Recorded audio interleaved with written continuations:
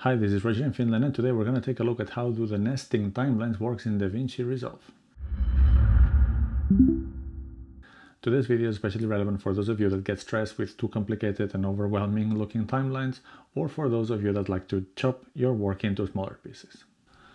If you have several timelines, you can also use them as any other clip to drag them into another timeline, as we saw earlier when talking about the media, and use them in your edit. The beauty of this, in my opinion, is that if you make changes to the original timeline, those will also be applied to this new timeline where the previous one is nested because it's using it as a media clip. So for instance, now I have this timeline 1 named TL1 with this edit. I have this timeline 2 in here with this edit. I have this third timeline here with this other edit. So now I can, for instance, go to this timeline 2 and then add my timeline 1 as an edit here. All right, this was a short edit. Let's zoom a bit. But you can see here that this will have all the different cuts that I have in the first timeline. Okay, they're just jump cuts, but you get the point, and then the text. Now let's say that I go to, again, the timeline 1 and manipulate it. And well, an easy way to make this visible is to maybe change this text so if I change the content of this timeline, whatever I have done here, it's obviously reflected into the timeline where that one is being used. Something to remember though, if I change this edit so that this timeline is longer than before, so now this one ends at 13 seconds, but I make this longer. This has not changed in here. This has not been made longer.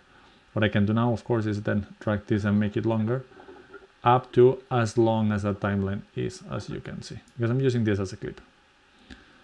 However, what doesn't change in a similar manner is if I, I make this one shorter. So what happens here?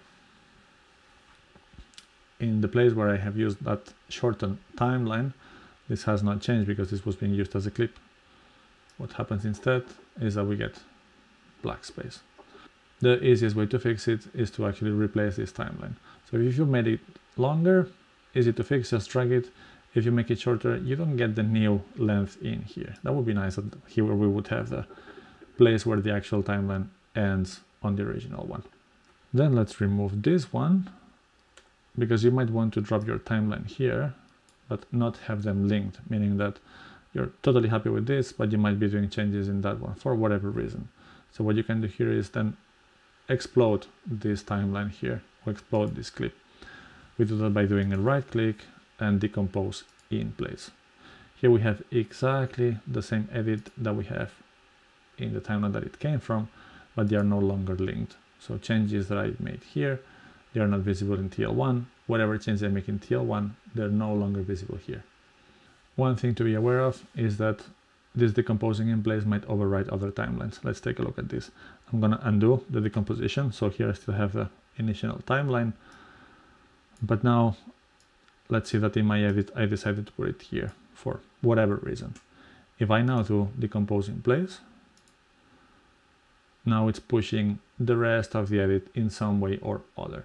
That's something that might bother you or not, but be aware that this decomposing will actually change things if you have clips on top and below of those audio and video tracks of your original nested timeline. So now let's see if we can break this. Now I have this TL3 timeline here with some edited things. I bring TL1 in here. And now let's see if we can add TL3 to TL1. This would be some sort of cyclical nesting and it could cause some funky stuff. But it's just not possible. Well, that's a way to prevent errors.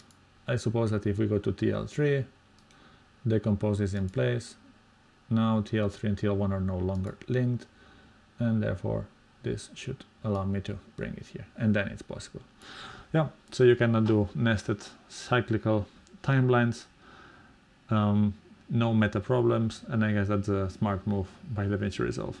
I'm not totally sure, but I do have some memories of trying this in, in earlier versions of Resolve, and I believe that I managed to do some cyclical nesting, but maybe just my memory playing tricks with me.